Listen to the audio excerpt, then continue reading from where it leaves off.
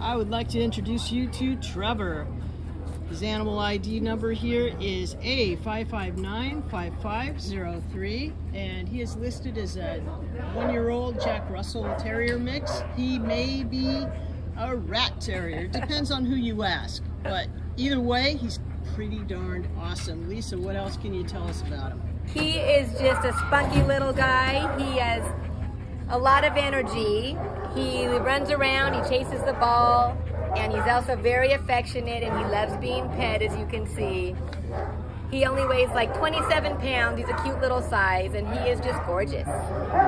He's a, he's a little guy, but he's got a big personality and he can do anything a big dog can do. So come on down and meet him. He is kenneled with another dog, so he does get along with other dogs.